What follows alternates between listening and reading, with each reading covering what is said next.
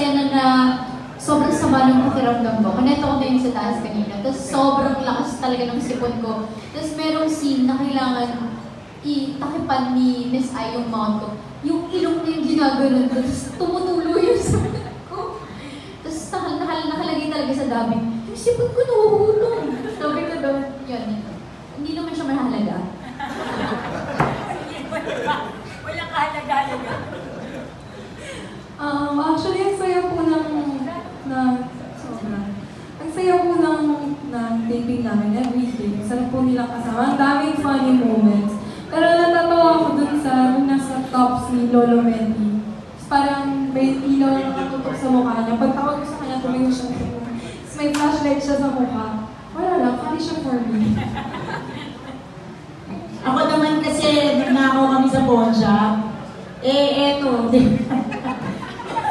eto kasi, kailangan usukan para hindi makita sa CCTV. Kunyari, eh. Eto. Hindi na alam may butas siya sa ano. Kaya pala, sabi ko, o, hindi ka na. No, dapat, hindi ka na, no. Ganun, ganun yung eksena. Kaya pala, sabi ko, wala kumikilos. Nakita ko nandun na siya sa ilalim. Hindi ko nakita. Meron kasi butas doon. Nandun na yung paa niya. Hindi siya mga ganun. Lo, ano na? Lo, ayun, na-take to tuloy kami kasi yung tawa ko ng tawa. Hindi ko na kasi nakita siya. Hindi ko natatawa sila. Nako. Yun, para sa amin nakakatawa. Kahit hindi nakakatawa sa inyo. Hirap ipaliwanag pag wala ka dun sa eksena. Ako din po siguro, siguro po yung kay Lolo Melly. Meron po siyang iniinom na ah, hindi po tubig yun. Uh, gin. Tapos po, tinapon na po yung ganyan. Tapos sabi ko po para sa demonyo. Natawa po ako. Tapos po, natawa din po ako nung sumakay po kami sa jeep. Kasi wala po nakakatawa po talaga sumakay yung jeep at saka masaya. First time niya nakasakay si Jeep.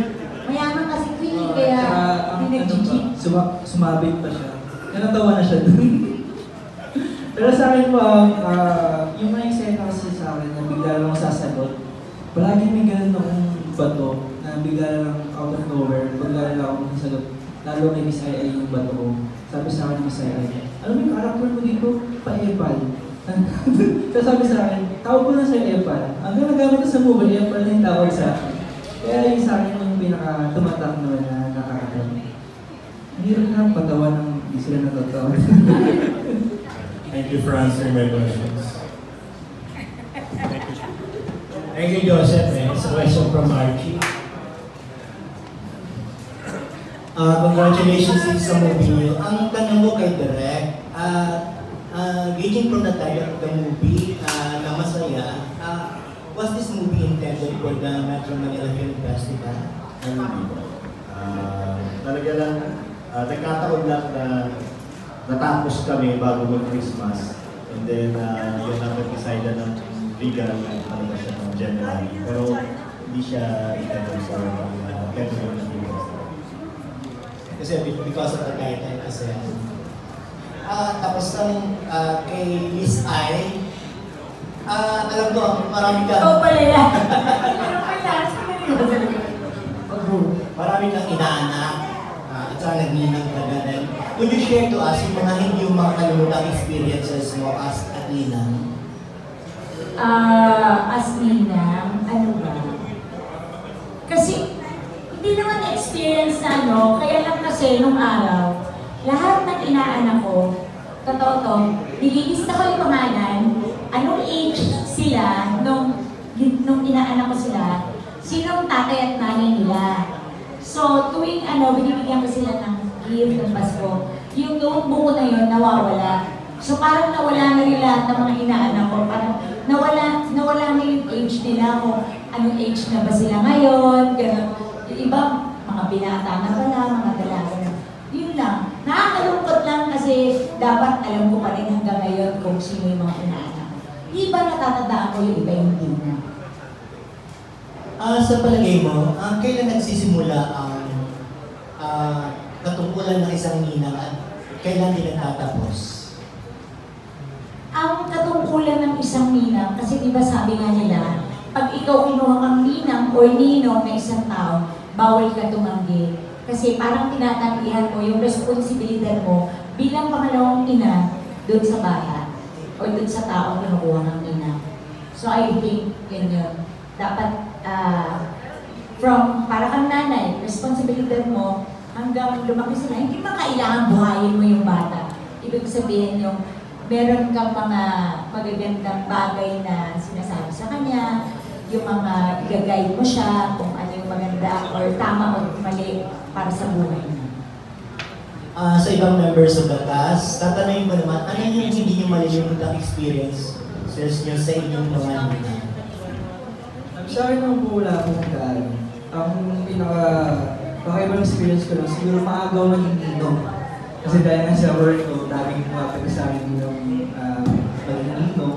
Kaya yun lang siguro na ma-share ko na sarap din maging ninong kasi nga sabi ni Miss Ay, maging pangalawang tatay ka na kung meron ka namang bibigay ng blessing, bibigay mo na may sobra ka naman. Ayun po.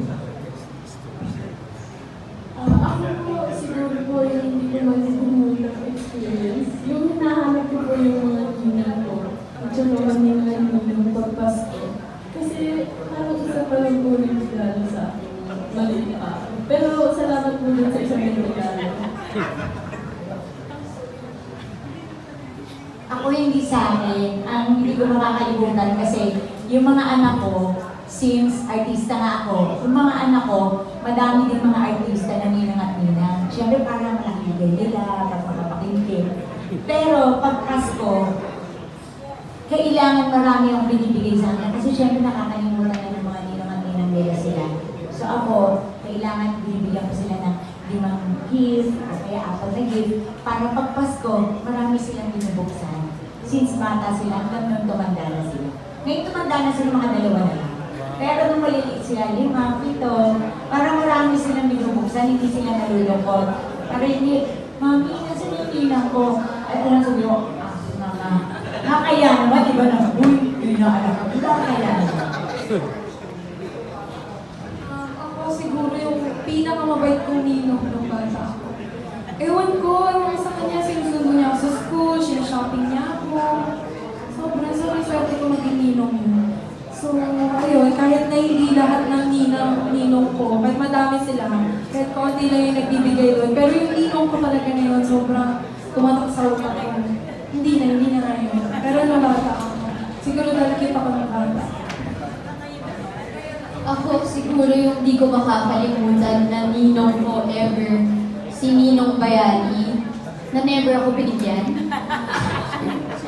Tapos pag nakikita ko siya, simula 4 years old ako hanggang ngayon, no, masa na yung pamasko ko, never talaga ako nakatanggap sa'yo. Lagi niya sinasabi sa akin, na prayers, kaya ka artista kayo dahil sa prayers ko. Kaya may bahay ka na dahil sa prayers ko. Tingnan mo yung tuhod ko, sobrang titim nakaka-pray sa'yo. Ganun siya. Pero, advice ko rin yun sa mga inaanak. Hindi porket hindi ka binibigyan ng pera o ng regalo, hindi ka mahal ng ninong at ninang mo. Yun yung pinaka-importante na gift na pwede nilang ibigay sa'yo. Yung hindi ka nila nakakalimutan, saka yung sinasama ka nila sa prayers. Okay, Lou, nagtatago ba ako kapag ano, Pasko sa mga inaanak mo? Hindi noong nung araw, nung maliit ako, lagi kong tinatanong sa sarili ko, bakit ah, yung nagtatago, ah, bakit pagka Pasko nagtatago yung ninong at ninang. So na, ngayong may edad na ako, naiintindihan ko na.